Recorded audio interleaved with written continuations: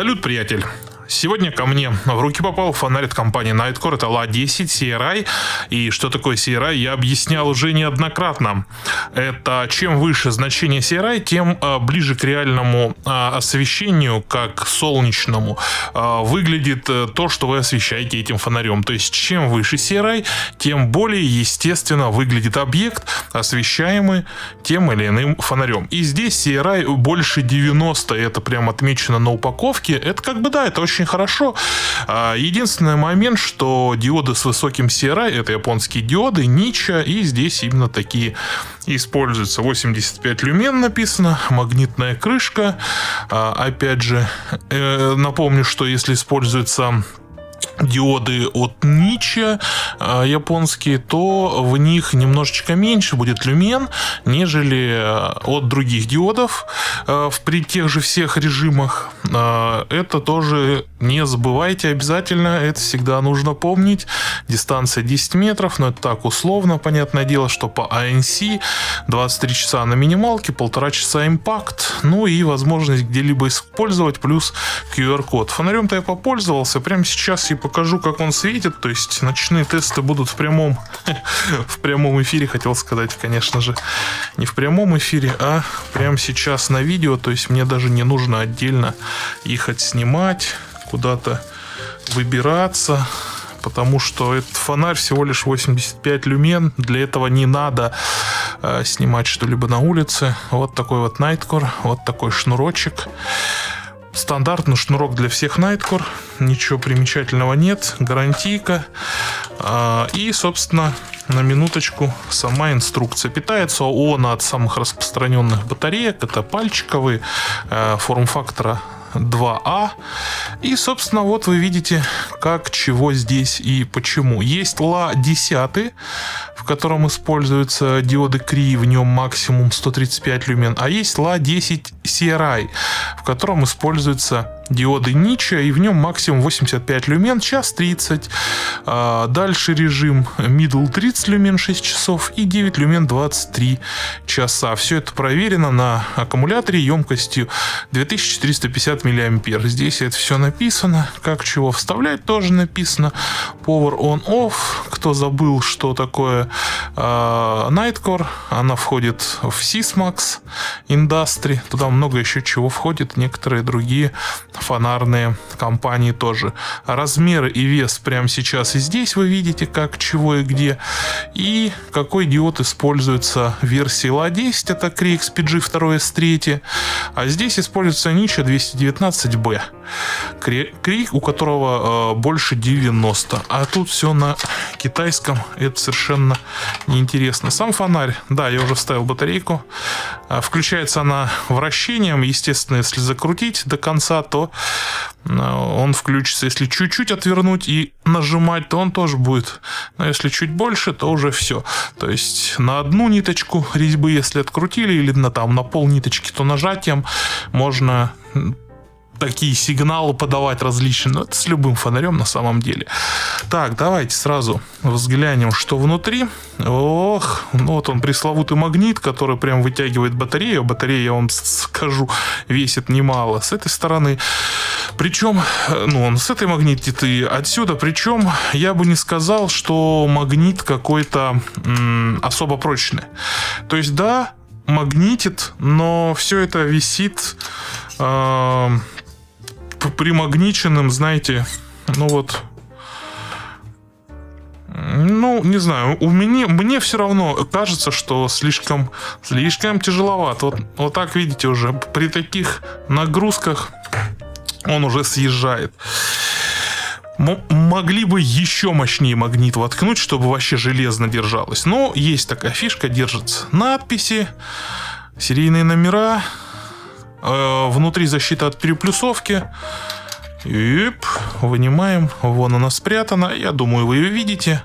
останавливаться на этом смысла э, не вижу, опять же. Минусовой контакт. Да, в общем-то, ничего такого, казалось бы, здесь и нет, кроме... Да, вот эта часть, она удобная, она не просто круглая. Здесь э, имеются такие скосы, чтобы ты мог рукой удерживать и вращать. А надирование смазано, все на местах, zip комплекта какого-то дополнительного. Ну, во всяком случае, у меня не было. Да и не нужен он тут, по большому счету. Вот, это первый режим. Второй. Так, раз, два, три. Нет. Раз, два, три. И потом раз, два, три. И потом бим. А, вот это тоже прикольно, маячок. Вот так вот это все работает. Но, но, но, но, это все хорошо. Давайте э, выключим все освещение, которое у нас имеется.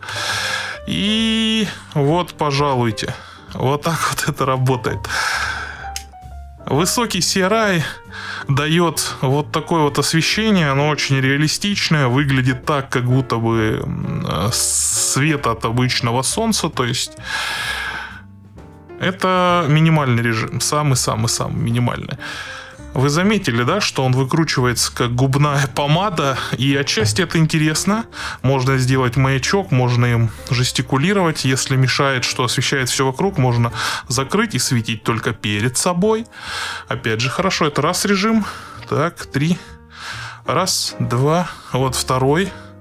Очень тоже яркий, вполне себе приличный. Третий, нет, да, раз, два, три, вот они, 85 люмен обещанные. Довольно неплохо светит он, как EDC-шничек идеально, как миниатюрный какой-то фонарик э, в поход идеально, как э, фонарь для как называется по-русски, emergency, в общем, ну, на случай э, различных ЧС, резервное освещение, вообще, вообще идеален. Вот для этих целей он просто, он просто создан. Потому что хотите так, можно примагнитить, нормально, если надо осветить все вокруг, выдвигаете, ставите, имеете приличную площадь освещения, вообще норм хорошо, все видно, можно читать, можно передвигаться. Конечно, то, что написано 10 метров дальность, но это так условно. Что-то будет видно на 85 люменах на 10 метрах, но, но так, условно-условно. Достаточно условно, то есть весьма себе расплывчато. Впечатление. Фонарь достойный. Это я сейчас на минимальном режиме вам все показываю. Фонарь достойный, фонарь хороший. А, на удивление, а, знаете, как много было фонарей, которые претендовали а, на такую вот EDC-шность в таком форм-факторе губной помады. Очень много компаний пыталось это сделать, и только у Nightcore хватило действительно ума сделать просто реально э, выезжающий механизм, как в той же губной помаде, и так и оставить. Можете смеяться, но это чертовски удобно для такого форм-фактора и назначения. Фонарь достойный.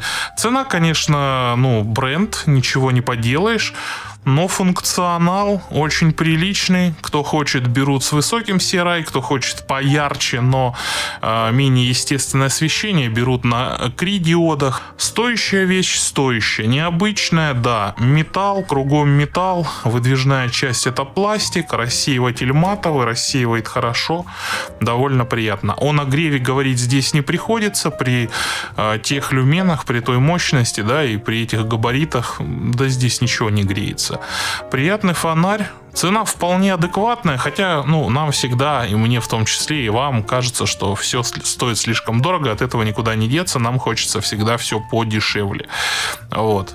Но самые теплые ощущения можно рекомендовать. EDC-шник, emergency свет какой-то, если где-то нужно выживальщикам, раз, различные ЧС.